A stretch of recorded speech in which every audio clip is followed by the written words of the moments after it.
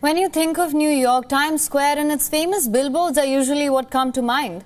The mayor is now trying to make the tourist attraction a little more safe than it was before. Find out in our next report how. New York Mayor Eric Adams signed new legislation Tuesday banning guns in Times Square, even as a recent court ruling declared such a prohibition to be unconstitutional.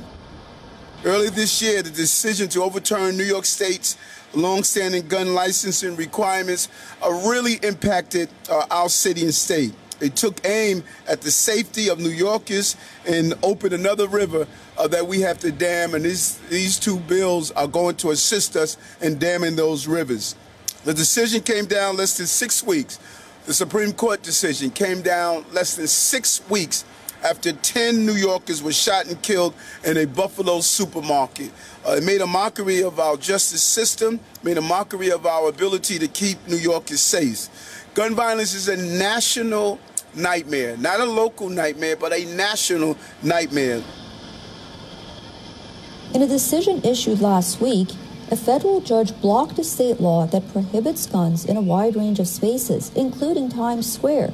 The ruling permitted the prohibition of firearms in government buildings, courthouses, polling places, schools, and for temporary government events or protests.